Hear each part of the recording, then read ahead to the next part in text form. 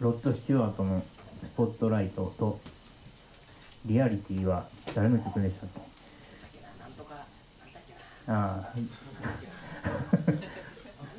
ラブームのブー。ムの曲ってことで。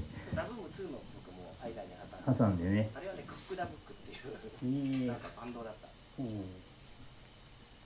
なんだっけな。なんだっけな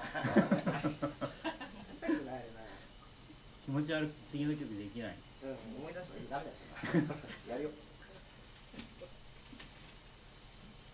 えライブ告知とかあるんじゃないですか？いいいいっすか？あのあれで打ち上げの時。ああ。そうですね。じゃあラストいきますか。曲もない。うん全然ない。全然ない。はい。飲みに行く予定もある。常に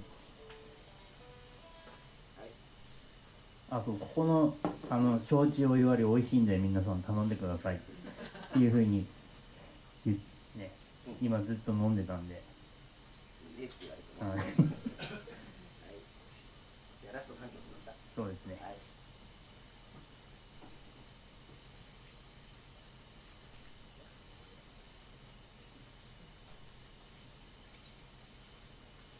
おちょっと待って。手に手になった